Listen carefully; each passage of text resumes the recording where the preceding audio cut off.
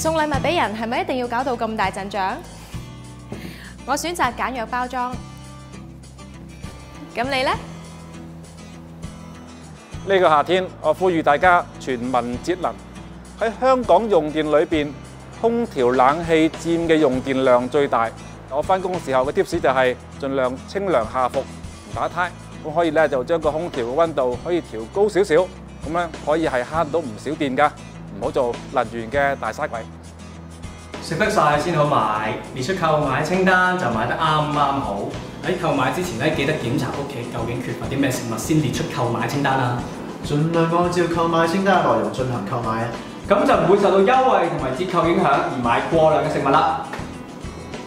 六月五號，一齊着綠香港。